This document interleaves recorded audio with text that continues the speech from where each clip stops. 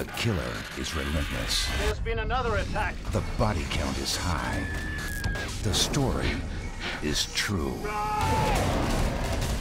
Primeval. Own it on Blu-ray and DVD June 12th.